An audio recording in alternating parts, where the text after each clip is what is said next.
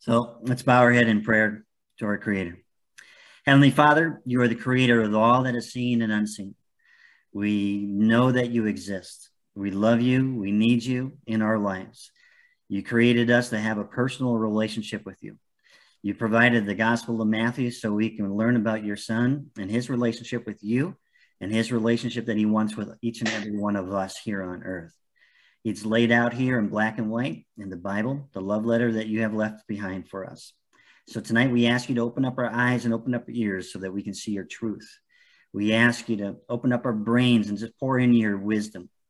We ask you to give us compassion and understanding for those who do not believe for whatever reason that that may be. So, Father, we ask you to give us the strength to, to take these words of wisdom, to take your truth, and then share it with others as long as we have breath to share. So, Father, we ask you these things in your Son's precious name, Jesus Christ, our Lord and our Savior. Amen. Amen. All right. So we're going to go Gospel of Matthew, chapter 8. And before we do that, I'm going to share five different slides. Um, again, I want to kind of review where we are. We're in chapter 8, but I want to go all the way back to chapter 1 again because I want this to really penetrate in your brains of how chapter 1 to chapter 8 came to be. Okay, so I'm going to share a few slides with you. And this is slide number one. Slide one, number one. Come. And it gives you chapter one. So that was the what? The plan of salvation, chapter one. Through Jesus, the Messiah, the one that that was talked about all the way from the history of time, King King David as well. So you have the angelic announcement also in chapter one of the conception of Jesus. So the angel went to talk to Mary. So that's in chapter one. Chapter two, we have the the Magi. Uh, they reported about the sign and um, the birth of the King of the Jews, and they went to King Herod. And then after they left, King tried to what murder baby Jesus when he killed all the boys in the in the town uh, that were two years and less. Um, he didn't want the king of the Jews to be in in uh, in a in a battle with him over power over people. Um, chapter three, Jesus' baptism and the appearance of the Trinity at the time of baptism. God spoke. The dove came down as the Spirit, and Jesus was there. So that was the appearance of the Trinity. So in chapter four, we had the temptation of Jesus by Satan. And then after that temptation, by Satan, the angels came, and then his public ministry, Jesus' public ministry, began at the end of chapter four. So you could see in the beginning with Saul being set up, his first ministry started after the temptation. And then chapter five, you had the Sermon on the Mount begins, the Beatitudes. Jesus is looking for seekers who will turn into his disciples and then his followers. So that takes us through that. And then we're going to continue chapter 6. It's also a continuation of the Sermon on the Mount. We talked about alms, the giving of money or goods to those in need. We talked about how to pray to the Father, the Lord's Prayer, the disciples' prayer. We went through that. And what is the true treasure? Heaven versus earth, God versus cash. That was all in chapter six. Again, Jesus' public ministry is going full bore here on the Sermon of the Mount. Chapter seven, continuation of the Sermon on the Mount. It actually concludes after chapter seven. And it says, Do not judge. We talked about that. We talked about our relationships, not with, only with God, which is very important, but also with others, the first and second commandment, as we'll learn later. The golden rule was discussed in chapter seven, talked about true and false disciples and prophets, wise and foolish builders. So that leads us up to tonight, which is chapter eight healing Jews. Jesus is going to start healing Jews and Gentiles, and he's going to address demons that possessed people. Okay, does demon possession take a take? Uh, is it true? Yes, it is. We're going to talk about it tonight. Again, chapter eight continues. We're talking about the miracles of healing, one through seven. We'll talk about the leper, then the centurion servant, it's a warning to Israel that their unbelief disqualifies them from the kingdom of heaven, while the Gentiles are now what? Believing that Jesus is the Son of God. So, first the Jews and then the Gentiles. We're going to talk about Peter's mom in chapter 8. or his mother-in-law, um, how she was healed, and then immediately she serves Jesus. And we're going to go a little bit deeper into that. Chapter 8, verses 18 through 22. It's the call to discipleship without comfort, without compromise. Talks about the Son of Man. This is the term Jesus uses most often to describe himself. The Son of Man, this is a term that will be used in the union of God and man in the person of Christ. And I took that quote from George Peters. And then continuing chapter eight, we're going to talk about the miracles of power, the calming of the sea, which is power over nature, casting out the demons, power over the supernatural. Who has this power? Jesus has this power. Jesus is Lord, all of creation, even his humanity, the Son of Man. Jesus, Jesus gets tired. We're going to see that. Jesus is both human and divine. Demons understand the identity of Jesus as the Son of God and the future judgment from Jesus, while most of humanity does not believe that Jesus is the Son of God. This includes the Pharisees and the religious leaders of the time. And I wanted you to just to show this picture to you because I like to have the visuals. Here we have a visual just really about the story of when he, he takes the demons and casts them out of the human and then they go into the pigs and then they jump off the cliff. I just kind of wanted to see, you know, where this was. It was the Sea of Galilee. And I just kind of want to give you this visual of what Jesus did. So when we're reading it, you'll have it. The big thing here will be what were the response of the owners of the pigs and what was the response of the person who was possessed. So there we have it. I wanted to give you that introduction before we actually start to begin our reading. So let's go to Matthew. And uh, we're going to pick it up with verse 1. Chapter 8, verse 1. So we're going to talk about Jesus um, cleansing the leper and the centurion. So here we have Jesus has the power and authority to make all of us unclean. You hear all that? Jesus himself has the authority to make us all unclean. So we're going to read how he's going to make the leopard unclean, but he can take away our sins. He can make us righteous. He has what? The authority and the power to do so. So here we are, verse one. And when he had come down from the mountain, great multitudes follow him. This is why we know the Sermon of the Mount is now over, right? What's the first verse from? It says he is coming down from the mountain. So we now know that the Sermon on the Mount is over and another episode of Jesus' ministry is beginning. Okay. Verse 2 And behold, a leper came to him and bowed down to him. What? What did the first thing the leper did? Bow down to worship. Did he know who Jesus was? By his reaction and bowing down, he know he is Lord. He know he's king. Okay. He bowed down right off the bat and said, Lord, if you are willing, you can make me clean. Did he have any doubt that Jesus can make him clean?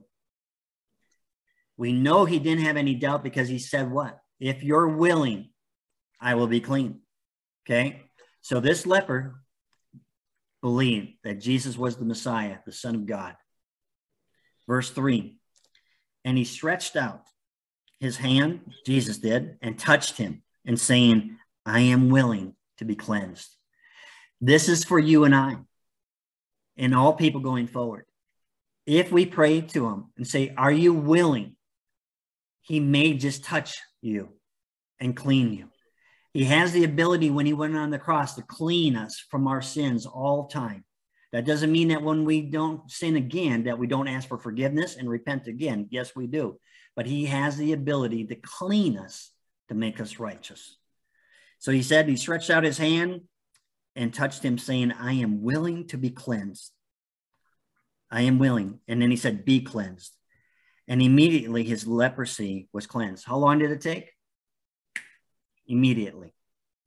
Verse 4 And Jesus said to him, See that you tell no one, but go, show yourself to the priest and present the offering. What's going on here now? He's telling him to go to the Sadducees or the Pharisees, the priest, right? So now we're going into what? Ceremonial rituals. Okay. He's already healed. He was healed instantly. But now Jesus is saying, hey, in order to, for you to continue, go to and fulfill these rituals, human rituals. He says, go in there and present the offering that Moses commanded for a testimony to them. So right here, what are the priests are going to do? They're going to declare ceremonial clean. So the leper was able to re-enter what? Society. Because remember when the leper had leprosy, they were cast out of the community. So now the priest is going to what?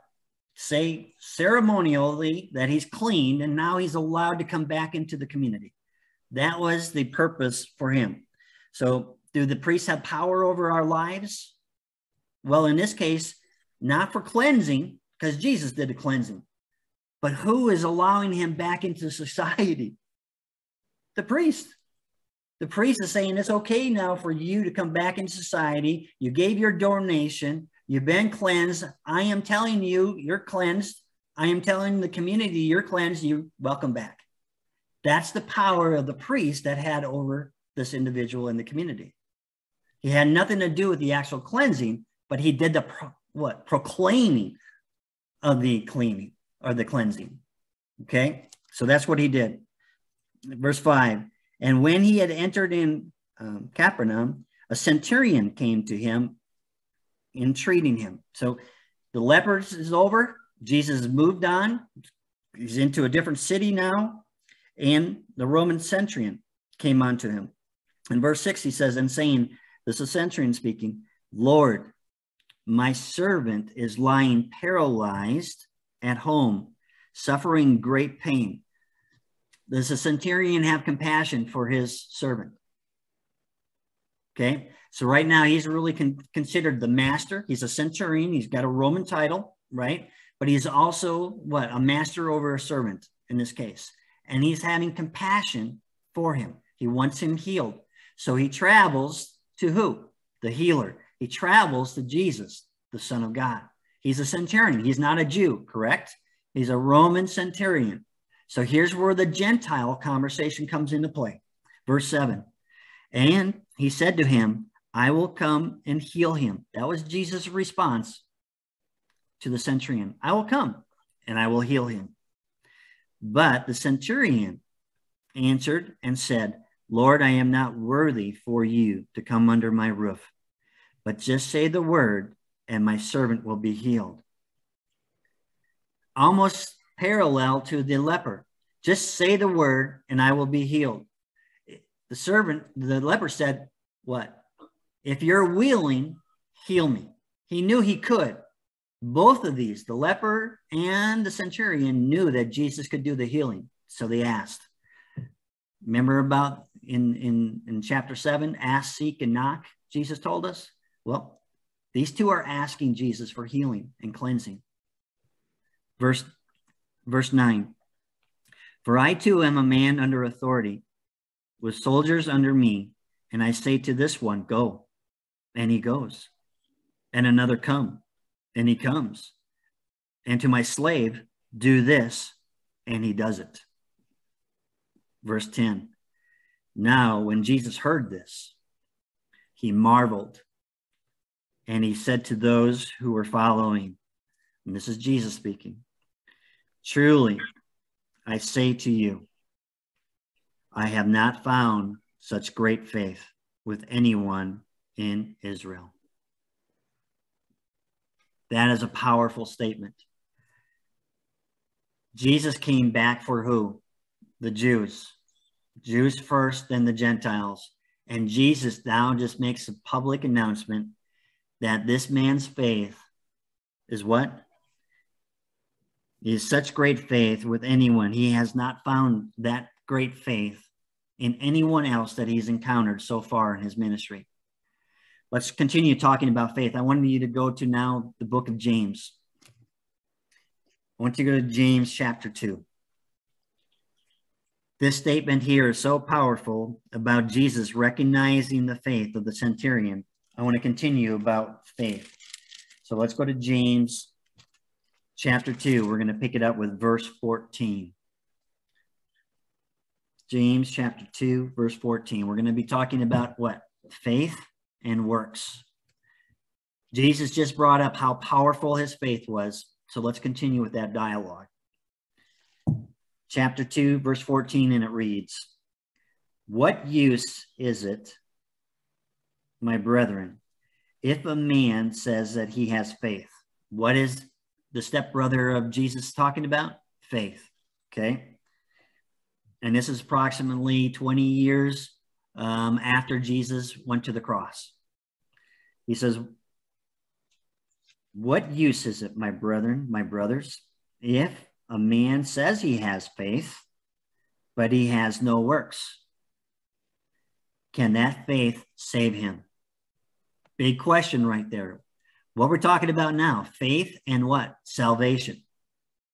Okay. That's what's being done, discussed. I'm not t- discussing it. I am reading the scriptures that James left behind us. So it said, Can that faith save him? Does that mean there's a saving type of faith? A faith that actually saves your soul. Verse 15 If a brother or sister is without clothing and in need of daily food, and one of you says to them, Go in peace, be warmed and be filled, and yet you do nothing to give them what is necessary for their body, what use is that? Question mark. Okay. This will make you think a little bit. We're going to continue with verse 17. Even so, faith, if it has no works, what does it say? It's dead. Being by itself. So faith with no works, faith by itself is what? Dead. Verse 18. But someone may well say, You have faith, and I have works. Show me your faith without the works, and I will show you my faith by my works. He's connecting them.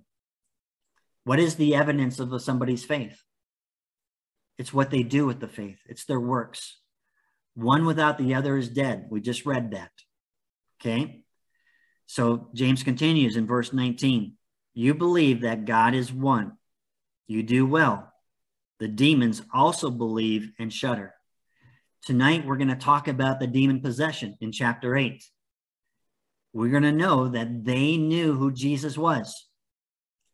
Did that save them? Did that knowledge that he was the Son of God, did that knowledge save them? Okay, we'll go back to that. But he's saying right here that even the demons, they believe, but they also shudder. Why? Because they're going to not go to heaven. Verse 20. But are you willing to recognize, you foolish fellow, that faith without works is what? Useless. Was not Abraham, our father, justified by works when he offered up Isaac, his son, on the altar. So, what's justified? Simply put, justify is to declare righteous, and justification is what? An act of God, whereby God pronounces us a sinner, a sinner like me, sinner like everybody else. God allows those sinners to be righteous because of what? Their belief. Father Abraham did nothing to deserve his righteousness. God granted it to him because he believed in what God said. So we become righteous when we believe that Jesus is the Son of God. Verse 22, it says, You see that faith was working with his works. And as a result of the works, faith was perfected. Didn't talk about the person being perfected, right? Talked about what being perfected? The faith, the actual belief that you are displaying for the Lord, for God and Jesus' Son. That's what's being perfected, not the person. We won't be perfected until when? We're in heaven, okay? And we're in our spiritual bodies. But here, the faith in itself. Verse 23 And the scripture was fulfilled, which says, And Abraham believed God, and it was reckoned to him as righteousness and he was called the friend of God. Does that tell you the relationship between Abraham and God? Gives you a glimpse of what kind of relationship they have. Is that same relationship available to you and I? Can we have that same deep relationship? We certainly can. God encourages it. That's why he gave us this Bible, the Holy Scripture, so that we would know him. Continues. Verse 24 You see that a man is justified by works. The works in this case that are talking about is the act of what? Believing and then being obedient, and not by faith alone. That's the difference. Not by faith alone. He, and why did he say that? He just mentioned the demons believed and shuddered. But are they going to heaven? No. Just because the demons believed in who they are doesn't mean they go to heaven. So belief and faith alone doesn't get you there. Does that make sense? Continuing, verse 25, and in the same way was not Rahab the harlot also justified by works when she received the messengers and sent them out by another way to save their lives, to continue their mission from God? And then verse 26 to finish this reading. It says, For just as the body without the spirit is dead. Let's hover there. Without the Holy Spirit inside you, what's going on with this body? Is it alive or is it dead? It's dead. The Holy Spirit is what makes it alive. And the Holy Spirit comes from where? God Himself. And that's why Jesus had to ascend to the Father. So it says here, for just as the body without the spirit is dead, so also faith without works is dead. So I bring the book of James into this because we were talking about the centurion's faith. I wasn't even talking about it. Who was talking about it? Jesus was describing the centurion's faith. So since we were talking about faith, I wanted to take you to the book of James to let James tell you and I a little bit more about the level of faith and that faith by itself doesn't get you into heaven. Okay. So let's go back to Matthew. We're going to pick it up with Matthew 8, and we're going to pick it up with verse 11. And then we'll have a couple more verses, and I'm going to open it up for comments. We're going to pick it up with verse 11, Gospel Matthew chapter 8, and it reads, And I say to you, Jesus is speaking again, and I say to you that many shall come from the east and the west and recline at the table with Abraham and Isaac and Jacob in the kingdom of heaven. What is he talking about here? He's talking about salvation, right? He's telling us everybody from the east and from the west, people are going to join me, right? That's what he's talking about. He's talking about salvation. And they're going to what? They're going to be at the table with Abraham, Isaac, and Jacob, the patriarchs. In where? Where? In the kingdom of heaven. But in verse 12, here's a but. Who's speaking? Jesus is speaking. Jesus says, But the sons of the kings shall be cast out into outer darkness. In the place there shall be weeping and gnashing of teeth. What is Jesus describing here? He just described in verse 12 heaven, and now he's describing hell. Okay, this is your Lord, this is your Savior. I'm not speaking, I'm reading his words. Okay. In verse 13, and Jesus said to the centurion, Go your way, let it be done to you as you have what? As you believed. Because of his faith, because of his belief, his servant is healed.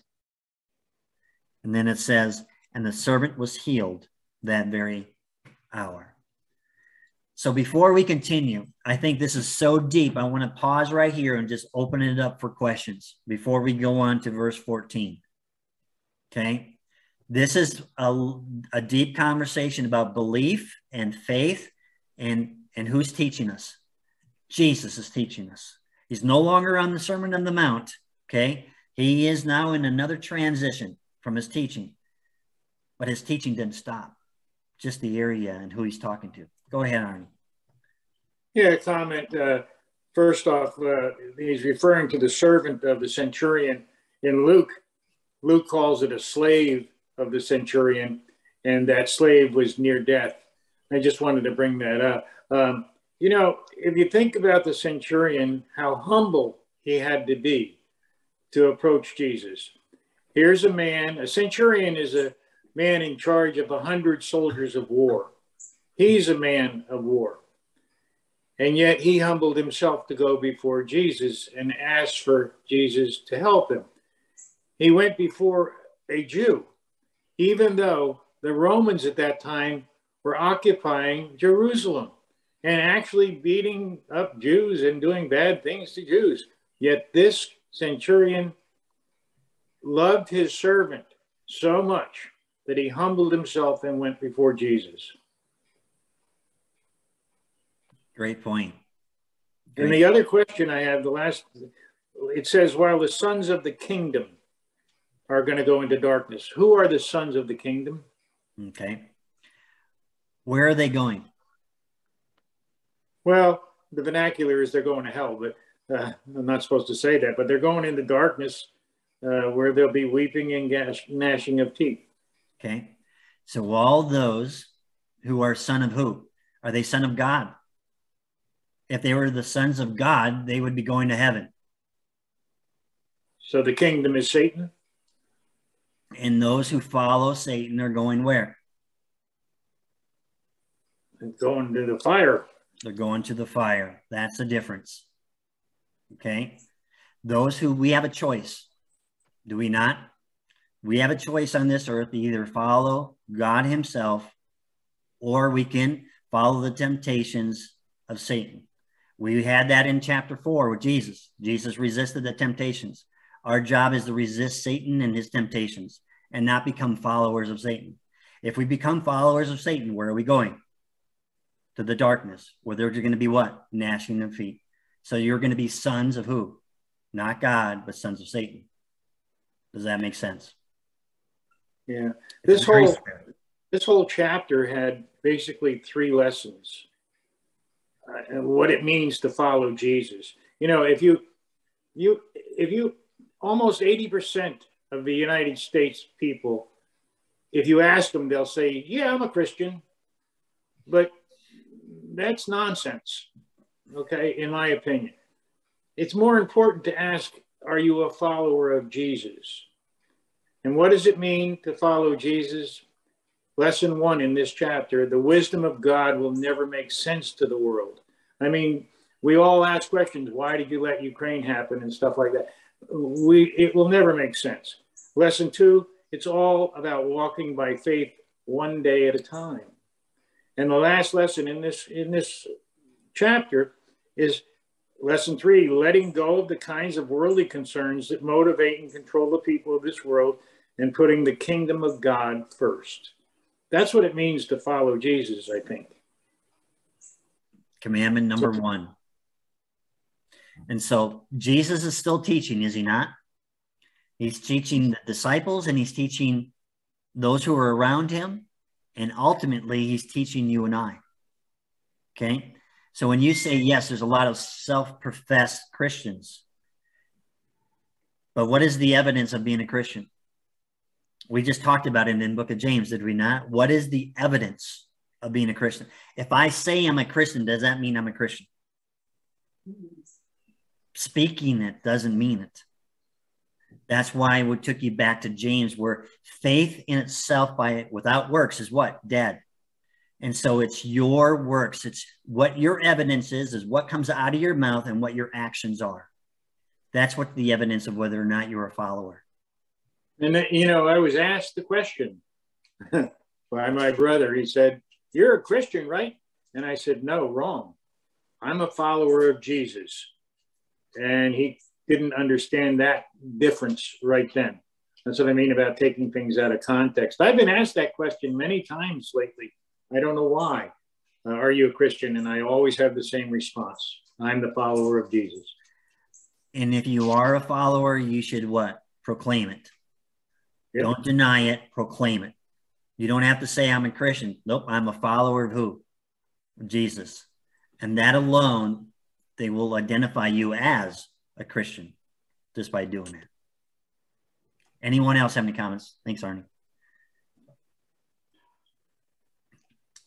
Okay. So a very important part of chapter eight we just reviewed. So we're going to continue. We're going to pick it up with verse 14. And this is where Peter's mother-in-law is going to be healed. And, and, and just check out what her first response is. Okay. This is, this is a lesson again for us. I mean, that's what's great about the Bible. it keeps on telling us how we should respond and how we should act if we read it to understand it. So in verse 14, it reads, And when Jesus had come to Peter's home, whose home is it? Peter. So Peter is what? A, a disciple. He left the boat, he left the farmer's the business, right? But does he still have a home? Yes, he still has a home. Could be his parents' home, but they're calling it his home. So where did they go? To Peter's home. And in, in the other gospel, Andrew's involved too. It's Peter and Andrew's home, his brother. So they're at Peter's home. He saw his mother in law lying sick in bed with a fever. Who are we talking about? Who saw the mother in law? Jesus. Yeah, Jesus saw. So what does Jesus do in verse 15? It is written that he touched her hand. Okay, what did he do with the leper? Touched the leper, healed the leper. Jesus now has touched the hand of Peter's mother in law, and the fever left her, and she arose and waited on him. Instantaneously, what was her response? To serve Jesus. When we are touched by Jesus himself, our first response is to automatically what? Serve him for the rest of our lives. Okay? The response is the teaching here. What did she do? She got up and immediately, without thinking, started serving her Lord and Savior. Verse 16, when we go through that, com- that, that confession and that repentance, and we're born again, then we should be serving the Lord each and every day going forward. Verse 16 reads, And when evening had come, they brought him to many who were demon possessed. So they left Peter's house, they went out, and people brought what? Demon possessed people. And he cast out the spirits with a word and healed all who were ill. He's healing the demon possessed. He's casting out the evil spirits. So, what spirit could replace the evil spirits? Making room for the Holy Spirit to enter casting out the evil spirit so that the Holy Spirit would be able to enter the body. And it continues. All and he continued and healed all those who were ill. Verse 17. Jesus is getting a lot of attention right now. Would you agree? He's healing people. He's casting out demons. He's getting a lot of attention. Who is this guy? People are wondering. Verse 17 in order that was spoken through Isaiah the prophet might be fulfilled, saying, He himself took our infirmities and carried away our diseases. That's in Isaiah 53. So that's in there. Why did Jesus do all these things? To fulfill prophecy, right? It had to happen. He did it to fulfill the prophecy, which would, would lead him to be recognized as the Messiah, as the Son of God to come back. Here we go in discipleships. Now we're going to be tested. Okay. Verse 18. Now, when Jesus saw the crowd around him, he gave orders to depart to the other side. So there's another transition in Jesus' teaching right at this moment. Okay. He told the people, let's go. Let's go to the other side of what? The other side of the lake, right? Okay. And certain scribe came and said to him, Teacher, I will follow you wherever you go. Okay. We know that scribes of the day usually came from what? Wealthy families to actually have that education to become a scribe. Okay. So we know that that's typically where a scribe came from, from a wealthy family who could afford the education. So this is the type of person who is now speaking to Jesus. And he says, I will follow you wherever you go. Verse 20. And Jesus said to him, The foxes have holes, and the birds have the air, and they have nests, but the Son of Man has nowhere to lay his head. So, what is he telling him? because I know you want to follow me, but where I go, there's not going to be comfort. It's not like you're going to be in a synagogue. It's not going to you're going to be delivered food every day. Have someone make it for you and deliver it for you. It's not that type of lifestyle. It's a different type of lifestyle to follow me. Verse 21. And another of the disciples, how is he described? He's described as what? A disciple. Okay. And another of the disciples said to him, Lord, permit me first to go to bury my father. Okay. He wants to be excused for now, it sounds like. And it could be for multiple reasons. Could be that he is the oldest in the family and his father's sick, and it's his responsibility to bury the father. Could be another reason. Could be that and according to his well let's read his response and we'll go into other possibilities. 22 then jesus said to him follow me and allow the dead to bury their own dead. So that could be what? The dead the spiritually dead burying the the other spiritually dead. Okay there is no consensus that one explanation is better than the other here there's just not enough information here to decide but there is speculation on the different ways. There, remember, we're talking about the time that Jesus walked the earth.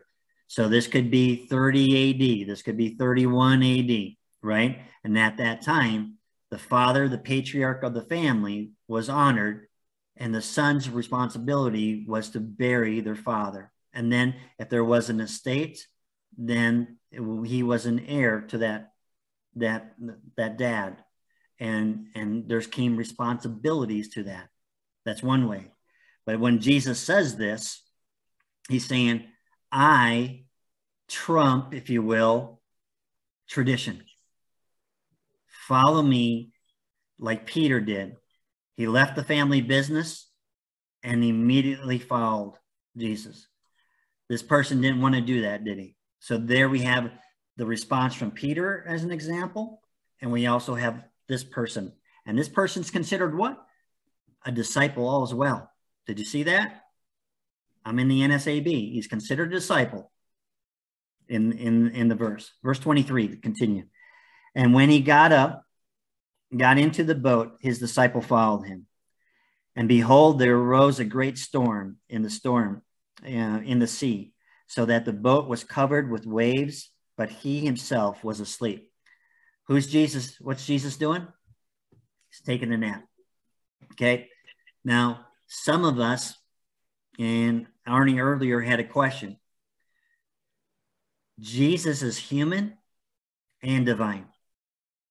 Those of you who have actually had and and and participated in Bible studies before and taught Bible studies, is it draining?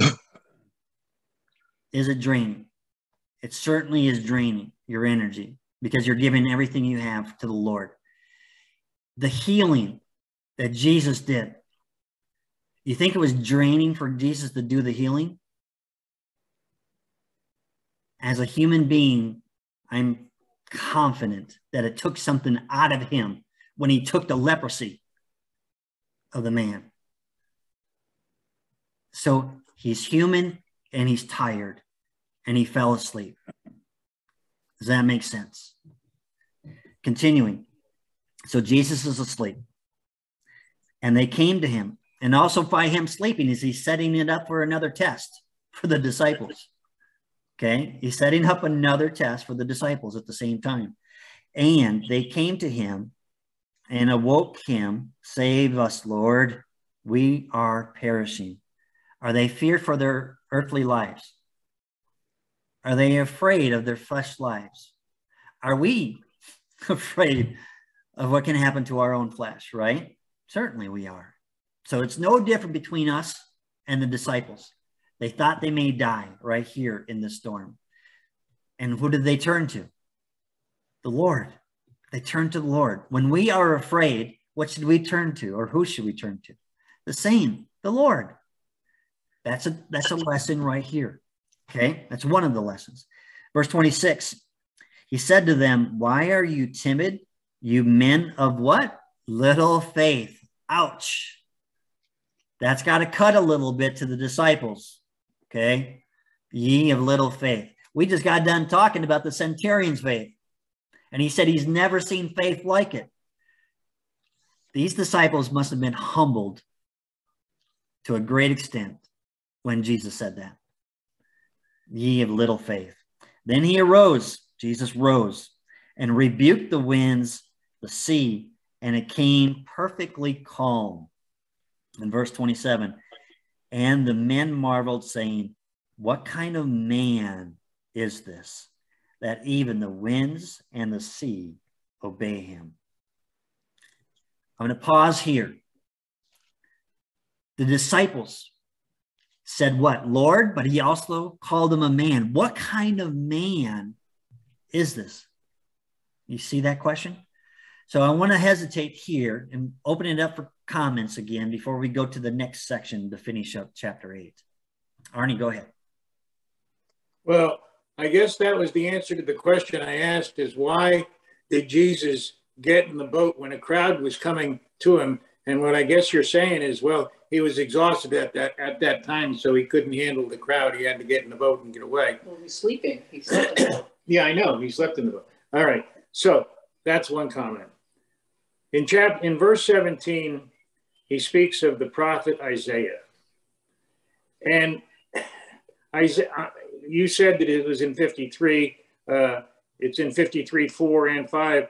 53, 4 says, Surely he took up the infirmities and carried our sorrows. And 53, 5 says, And by his wounds we were healed. Um, Peter, in what First Peter 2, 24, he himself bore our sins in his body on the tree so that we might die to sins and live for righteousness. But his wounds you have been healed. By his wounds you have been healed. Now, here, this healed is something that we have to pay attention to. Okay. Isaiah was saying that he's taking care of our infirmities and whatnot while he is here on earth. Okay. When he died on the cross, healing was our spirit. It was not our physical bodies. I this is what I think anyway from looking it up. Um, there was a guy H. A. Ironside that wrote the following: The prediction of Isaiah 53 4 was literally fulfilled in Jesus' daily ministry as he bore away the sickness and carried the infirmities of the people in his deep sympathies. It is a mistake to suppose that this prophecy refers to his atoning work on the cross. It was here on earth as he moved among suffering humanity that he bore our infirmities and took from men their diseases and pains. So it, it's basically saying that, you know, the healing that they're talking about when he died on the cross is spiritual healing, not according to Isaiah, not according to, uh, not uh, physical healing. And then the last comment that I had was that the man that wanted to bury his father, he was Jewish. They don't wait a day or two to bury. A Jewish man dies, he's buried that same day. So this man had other plans. He was planning on going back and doing his thing, if you will, and waiting for his father to die. And he's saying to Jesus, Hey, when I get done with all this stuff, I'm your man. And, and Jesus doesn't want to wait for that. Okay. So what I'm going to do is I want to just kind of uh, focus on the difference between the cross and the healings that we're actually reading about right now. Okay. They are two separate, completely separate. Okay. Jesus is showing the miracles that he has what authority over the what the sea, over demons. He has authority over people. So he's showing that his power, who comes from where? God himself is, is going on right here. He is fulfilling by cleansing them, the leprosies, the fevers, taking that on him. That's one thing. But when you bring in the cross, it's completely different. That's the atonement. And as a result of him, Jesus, being on the cross, that death three days later turned into what? Resurrection. And we just celebrated not too long ago Resurrection Sunday. That's the difference between the two. He's healing to show that he has the authority over everything and everyone. To his disciples, follow me. I am the Messiah. I am the Son of God.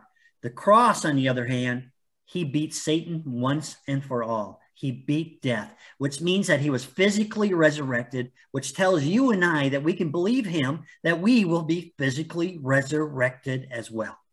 That's the difference. Make sense? Yeah, it, it, it's just, you know, what they're saying in, in Isaiah. those verses read is that exactly the same thing. But that doesn't mean you can't pray to Jesus or pray to God for some physical healing. You can still pray to him for physical healing, but he died on the cross for our spiritual healing. Correct. Because this body is going to turn into, if we're, if we what? If we believe, but it is believing alone work.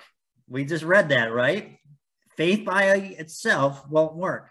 So if we have faith and works, this body will be physically what? Resurrected in a spiritual form. And that's what how we will trans be transported to heaven. Not in the physical body, but in that spiritual body that Arnie's talking about. Okay. Any other comments before we move on? This is a, another big section of chapter 8. Can you see his power? Can you see his teachings? He's literally teaching us, you and I, as well as the disciples that are going to be responsible for teaching everyone going forward. Okay. Was Jesus human? And was he divine all at the same time? He was. Okay. Because some people will say he wasn't. Some say he was human never divine at the same time. Let's continue then.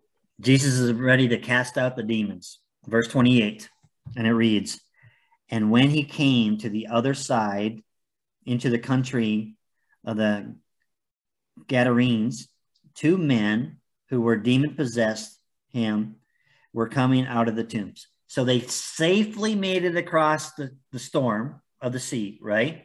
And now we're talking about they're on the other side. They're on the other side where the Gentiles are, okay? So physically, one side to the other side has now been completed. They get out of the boat from the storm, and what's the first thing they run into? Demons, okay? And what they were coming out of the tombs. They were exceedingly violent. Is is the violent is what I have in mind, which is the NASB version, that no one could pass by the road. Okay, exceedingly violent. The demons were. Where were the demons? Inside human beings, right? Okay, let's not forget that. They're inside human beings. They took over that human being and they're acting out in a very violent way. Verse 29 And behold, they cried out, saying, What we um, what do we have to do with you, Son of God? Okay, here's a demon calling Jesus what? Son of God. Did the demon recognize his authority and where he came from? The demon did. Okay, Son of God. He called him there. Is this a moment of teaching now for the other disciples who are still around him? Right? Everything that's going on is a teaching moment, not only for those disciples or the multitudes that are around Jesus, but also for you and I. So this is when James said, even the, even the devils believe, right? Did the book of James say that? We read it in chapter 2. Even the devils understand that he's the Son of God. And right here, conversation between them and Jesus. We're reading it. He says, You, Son of God, have you come here to torment us before the time? So the demons, what do they want to do? They know there's an end time. Do they not? They know who's going to bring that end time. Jesus is going to bring it. So they're ready recognizing that. So they're saying, hey, don't send me. There's going to be a negotiation here, right? They're going to say, don't send me to hell right now, right? and they're going to negotiate something. We're going to read about the negotiation here. Verse 30. Now there was in a distance from them a herd of many swine feeding. So, what do the demons really want? They don't want to be destroyed. They don't want to be tormented. They don't want to be sent to hell, right? So they say, hey, instead of you casting me out into hell to torment me for the rest of existence, forever and ever and ever, send me to where? The swines. He goes, verse 31 And the demons began to entreat him, saying, If you are going to cast us out, send us into the herd of swine. So the evil spirits want to continue to what? Be on earth, but not as the Son of God, but as servants of Satan. That's what they want. They don't want their period to end right here. So they say, Send me to the swine, send me to the pigs. In verse 32, and he said to them, Be gone. Be gone. Does Jesus have authority over the evil spirits, the demons? So what does he do? He sends the evil spirits into the swine. Verse 32 And he said to them, Be gone. And they came out and went into the swine. And behold, the whole herd rushed down the steep bank into the sea and perished into the waters. So the pig said, What? I don't want the evil spirits in me. So we're going to commit suicide. And they ran down and bam, jumped off the cliff and they all died. First group of pigs being committing suicide. So now we're going to now we're going to find out what happens next. To the now what? Human beings, right? The human beings have just been freed of what? The evil spirits. Let's find out what happens. Verse 33 And the herdsman ran away and went into the city and reported everything, including the incident of the demon, demons or the demonic. Verse 34 to complete the chapter. And behold, the whole city came out to meet Jesus. And when they saw him, they entreated him and, and entreated him to depart from their region. So, what was more important to them? Did they celebrate that the two people were demon free? No. Did they celebrate that Jesus, the Son of God, was in their presence? No. They actually asked them what? To leave. What did they value more than the two people that had the demons in? Their supply chain, their food, the pigs, the value of the pigs. What did they recognize more of a value, the food or the Son of God who provides everything else? So when we encounter Jesus, is there anything that should be more important? When you're realizing you're having a conversation with Jesus and you want to be part of his kingdom and you want to be a follower, is there anything more important? Are pigs more important than Jesus? But did these people believe that? So here we had the Roman centurion used as by Jesus as an example of faith, right? But we also have other Gentiles who still don't recognize or care about the Son of God and ask them to leave their region. And how does that relate to us today, ladies and gentlemen? Have we asked God to leave our region? Have we asked God to leave our families? Have we asked God to leave our churches, our government, our school systems? Have we asked Him to leave? Unfortunately, we have in so many of these cases. And we have what? We have the history, and we still ask God and Jesus to leave our schools. We still ask God and Jesus to leave our government and the way we rule. That is our lesson. When you recognize the Son of Man, accept him, don't reject him. Don't reject his kingdom for this world. So, with that said, let's open up for any more additional comments or questions.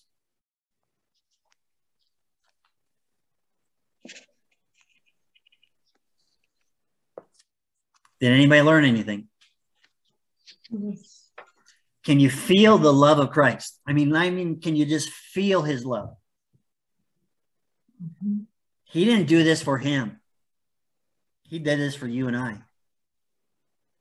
He did this so that we could read this thousands of years later, to know and understand Him, what He has done for us in His past, what He's doing in our current lives, and what He has in store for you and me in His future, in His future kingdom.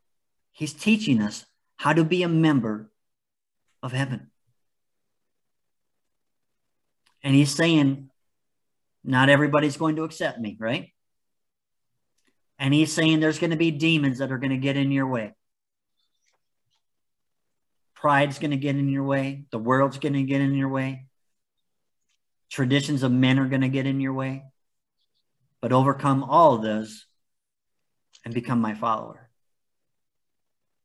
Who decides? We do. Yes, ma'am. We do. I can't decide for Howard. I can't decide for Joyce. We all make those decisions ourselves. We can be a self professed Christian, as Arnie said earlier, right? It's easy. It's easy to say. But Jesus is going to ask, where's the evidence? Because before he told us, he even going to tell others, I've never known you, be gone. I've never known you. And they're going to even say, I prophesied in your name. He said, I didn't know you. And that'll be a harsh response because that means what? You're going to the fire and not to the glorious kingdom of heaven that's been created for you and I. All right. Any other comments, questions? My point of all this is there's a personal relationship to have, isn't it? Jesus is telling us over and over again realize who I am, come closer to me. Don't go away from me, come closer to me. And it's that personal relationship is between you and who? You and the Trinity, because it impacts every one of them, right? God's your creator, Jesus is your savior, and the Spirit is inside you. So your relationship is with all three of them. And it's provided out of what? Love. For God so loved the world that he allowed all this to happen. He didn't have to, but out of love, he did for you and for me. All right. Any other, no other comments? Then we'll close in a prayer. Thank you so much for your study and your outline and the time that you spent bringing us this message tonight. It's clear. Very clear. Okay. But what I want you to leave here tonight is I want you to feel it. I want you to feel it. I don't want you just to read it. You read these words before. I want you to feel these words. Okay? Because, go ahead, Arnie. I just wanted to thank you also, Terry. Uh, I know you put a lot of work into this. And I want to thank all the rest of the people that are attending for putting up with me. so, so we know based off of what Arnie said earlier today about his brother, he's wise, he knows the scripture, but he doesn't feel anything. Satan, did Satan know the scripture? Yeah. I'm not making a comparison. Okay. I'm not. But I'm just giving that Satan know the scripture. He certainly does. But does he have any feeling towards God? Not anything to do with love, just the opposite, because he's jealous and envious of God because he wanted to be God. So knowing the word in of itself, the faith doesn't do it. You have to feel it. You know what else, Terry? Yes, my sir. brother does. My brother does good works. constantly. He does good works, but he doesn't have the faith. I will tell you, he was at a uh, pizza place, and this overweight girl served him. And he felt bad for her because she was working hard and she was way overweight, could hardly walk. About a week or two later, he was at Walmart and he saw this same girl working at Walmart. And he asked her, Did you leave the pizza place? And she said, No, I have to work the two jobs. Uh, you know, I'm a single mother. My brother went out to the car that day and wrote her a check for $5,000 and handed it to her with no thought of ever seeing her again, just in order to help somebody in need. So, I mean, he's doing good works. I wish he had the faith also. Sounds like another prayer request. Yeah. Well, the three things you can't separate faith, works, and love. It's all one. Without one or the other, you don't have no you don't have either. We already addressed, I think it was last week, right? Can we love one another without the love of God in us? It's, nope. it's impossible. We have to have God's love in us in order to love one another. We can say, we can talk about love. We see protesters talking about love all the time, but they're not really what? Loving. Their actions don't match the word love. So they are combined, all three of them.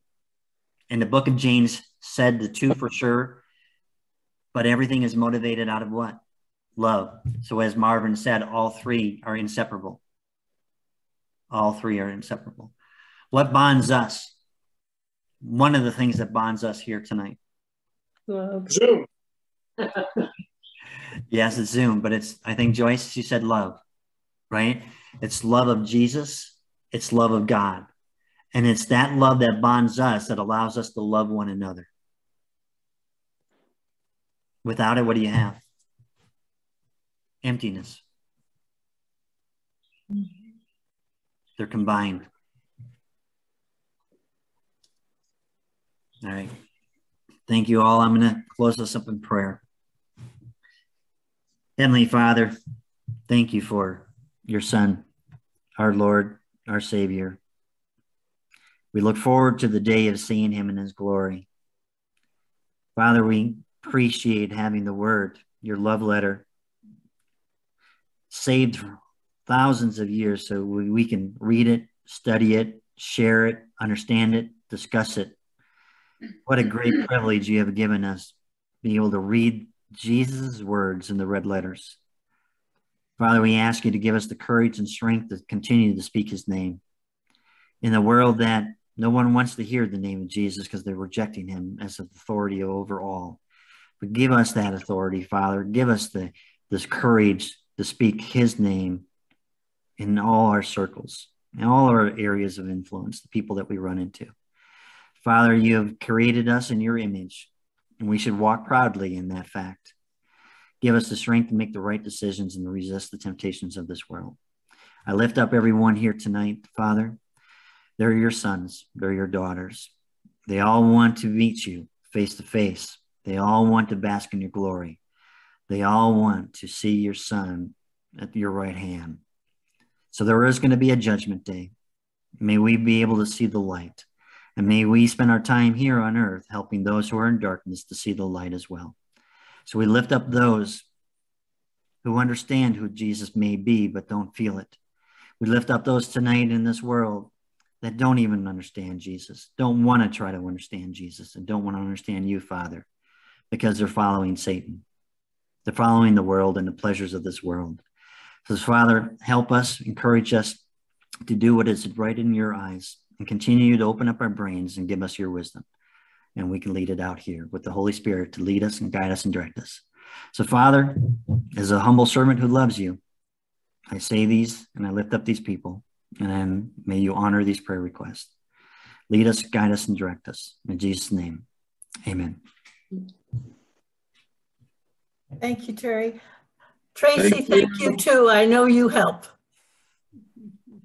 Yes, Tracy. Joyce, Good to see you. Glad you're got your strength back and you're healthy. Thank God, yes, me too. Yes, ma'am. And then um, Tracy, I will end up uh, sending out a, maybe another prayer request. And um, and Arnie, your brother's name is Ernest, right? Okay, will do. Correct. God bless you all. We'll see you next Tuesday. God willing. Thank you, Terry. Thank you all.